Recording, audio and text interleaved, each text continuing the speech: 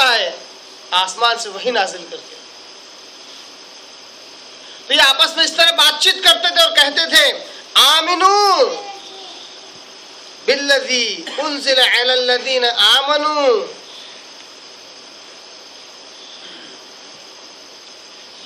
یہودی آپس میں بات چیت کرتے ہوئے کہتے تھے کہ دیکھو، ایمان لا لیا کرو۔ ایمان لا لیا کرو اس چیز پر جو مومنوں پر نازل ہوتا ہے۔ مومنوں پر جو وہی نازل ہوتی ہے، اس پر ایمان لا لیا کرو۔ مطلب یہودیوں کے بعد معلوم تھی کہ مومنین پر واقعی کچھ نازل ہوتا ہے، جو کہ وہی ہے۔ اور یہ وہی وہی تھی جو حضرت موسیٰ علیہ السلام پر نازل ہوتی تھی۔ ساری نشانیاں پیارے علیہ وسلم کے تعلق سے انہیں معلوم تھی، جیسا کہ پچھلے آیتوں میں اللہ نے کہا بھی۔ وَأَنْتُمْ تَشْهَدُونَ تم اس بات کی گواہی دیتے ہو کہ یہ میرے آخری نبی ہیں، جو اس سے پہلے کے انبیاء کی، اس سے پہلے کتابوں کی تصدیق کرتے ہیں۔ ان کی ساری نشانیاں، ساری علامت تمہاری کتابوں میں موجود ہے۔ تم خود گواہ ہو۔ تو اسی طرح یہ یہودی اس بات کے گواہ تھے، اس بات کے جاننے والے تھے کہ مسلمانوں پر ایک وحی نازل ہوتی ہے۔ یہ وہی وہی ہے جو موسیٰ علیہ السلام پر نازل ہوتی تھی تو کیا چالے چل رہے ہیں؟ کہتے ہیں آپس ایک دوسرے سے کہ دیکھو، ایمان لے آؤ اس چیز پر۔ جو ان مومنوں پر نازل ہوتی ہے۔ وجہ النہار، دن کے ایک حصے میں۔ کیا شرط لگائی؟ ہم سمجھ رہے ہیں کہ وہ مسلمان ہو رہے ہیں۔ ایمان والے ہو رہے ہیں، نہیں۔ یہ ان کی بڑی خطرناک چالیں ہیں۔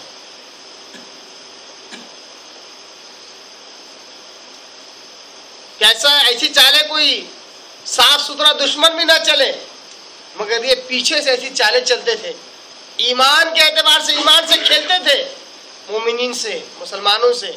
تو کہتے ہیں کہ ایمان لے آؤ، اس پر جو مومنین پر نازل ہوتا ہے دن کے ایک حصے میں۔ وجہ دن کے ایک حصے میں ایمان لے آیا کرو۔ وقفرو آخرہ اور جیسے ہی دن ڈھلنے کو آئے، اس کے دوسرے حصے میں، دن کے دوسرے حصے میں کفر کرو اس کے ساتھ جو جس پر جس کو تم نے مانا تھا، جس کا تم نے اقرار کیا تھا، اس کے ساتھ کفر کرو۔ لعلہم یرجعون۔ دیکھو، امید کیسی رکھ رہے ہیں؟ لعلہم یرجعون۔ امید ہے کہ ان میں کے بھی کمزور جاہل قسم کے مسلمان، یا کمزور ایمان اور عقیدے کے مسلمان پلٹ جائے اور واپس تمہاری طرف آ جائیں۔ کیونکہ انہیں اس بات کی جلن اور تکلیف تھی کہ یہودی لوگ مسلمان ہو رہے ہیں، عیسائی لوگ مسلمان ہو رہے ہیں، جو کہ اصل میں پہلے وہ مسلمان نہ تھے۔ وہ محمد صلی اللہ علیہ وسلم کے ماننے والے نہ تھے، اب وہ بن گئے۔ تو ان کے آگے یہ ناٹک رچا جائے، یہ چال چلی جائے کہ ان کے آگے صبح کے وقت میں دن کے ایک حصے میں ان اس, اس چیز پر ایمان لایا جائے جو ان پر نازل ہوتی تھی یعنی قرآن مجید پر بعد آقا صلی اللہ علیہ وسلم کر پر, پر یا رسول اللہ یا رسول اللہ کہہ کر ایمان لایا جائے۔ اور دن کے آخری حصے میں اس سے کفر کیا جائے اور کہا جائے کہ ہم اس کو نہیں مانتے ہم واپس ہم ہم ہمارے دین کی طرف چلے جائیں گے۔ ایسا کیوں کرتے تھے؟ لعلہم یرجعون ہو سکتا ہے ہماری اس قسم کی حرکت سے کمزور قسم کے مسلمان واپس پلٹ جائیں، اس دین سے مرتد ہو جائیں۔ تو دن میں ایمان لاتے اور دن کے ڈھلنے کے قریب مرتد ہو جاتے۔ اس کے ذریعے سے وہ دوسرے کمزور مومنوں کو، کمزور مسلمانوں کو مرتد کرنے کی کوشش کرتے۔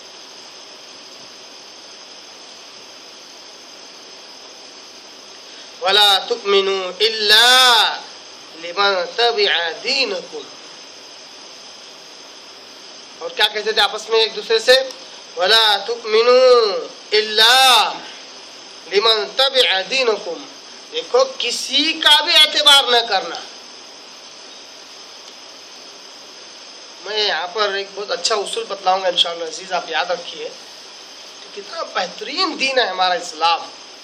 ہم نے آج اس کو سمجھا نہیں ہے، تو ہم بھی وہ اسلام جو یونیورسل تھا پوری کائنات کے لیے تھا، پوری انسانیت کے لیے تھا، پوری دنیا کے لیے تھا، وہ سمٹ کر صرف مسلمانوں کے پاس رہ گیا ہے۔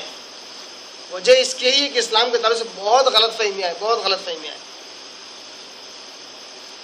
جیسا کہ ہم یہ کہتے ہیں کہ قرآن ہمارا ہم کسی کو دیتے بھی نہیں نہ پڑھنے کے لیے دیتے ہیں، نہ سمجھنے کے لیے دیتے ہیں۔ بھی بھی ہو جاتی اور ہم خود اتنا زیادہ لحاظ رکھ لیا اس کتاب کا کہ کبھی کھولنے کی نوبت نہیں آتی۔ اتنا زیادہ لحاظ۔ اس لیے غیر مسلموں کا بھی دیتے بھی نہیں ہے کہ کہیں توہین نہ ہو جائے۔ کیونکہ اس کو ہم نے ہمارا ہمارا ہمارا کہہ کے اس طرح اس پر اپنا قبضہ جما لیا کہ غیر مسلم کی رسائی ان کتابوں تک ہوتی ہی نہیں ہے۔ یہاں پر ایک جو آیت کا ٹکڑا ہے، غور کیجیے۔ ولا تؤمنوا الا لمن تبع دينكم اور سنو، آپس ایک دوسرے سے کہتے تھے اور سنو، کسی کا اعتبار نہ کرنا، کسی کو نہ ماننا، سوائے اس کے، لمن تبع دينكم جو تمہارے دین کا تابع فرما ہے، جو تمہارے دین کا تابع دار ہے، جو تمہارے دین کو ماننے والا ہے، صرف اسی پر بھروسہ کرنا، اسی کو ماننا، اسی کی بات پر ایمان لانا، کسی اور کی بات پر ایمان نہ لانا۔ گویا کہ مومنین پر جو چیز نازل ہوتی ہے، اس کو مت ماننا۔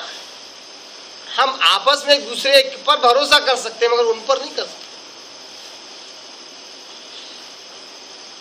اگر یہ ٹکڑا سمجھ میں آ گیا، ویسے انشاءاللہ، ارادہ تھا کہ اوپر سے پھر حالات حاضرہ اور مسلمانوں کے تحت واپس سے ان آیتوں کا مزید تشریح بیان کرنے والا تھا۔ مگر چونکہ اب یاد آ گئے اس ٹکڑے پر، جو بات مجھے بیان کرنی اس کو بیان کرتا ہوں، پھر آگے بڑھتا ہوں۔ یہاں پر یہودیوں نے آپس میں کیا کہا کہ ایک کسی پہ بھروسہ نہ کرنا، مگر اسی پر جو تمہارے دین کا تابے دار ہے نا؟ کیا واقعی اسلام بھی ایسا ہی کہتا ہے؟ کیا اسلام بھی مسلمانوں کو ایسا ہی سکھاتا ہے کہ مسلمانوں، صرف مسلمان پر بھروسہ کرو، کافر پر نہ